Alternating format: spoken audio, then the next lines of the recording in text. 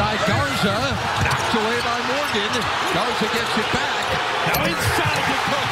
He throws down the jam. Can they penetrate the zone? Now they struggled to do it there, but Smith, the big offensive board. That's how you get into the zone. Shot pocket seven for Wieskamp. Weaving his way through. Wieskamp.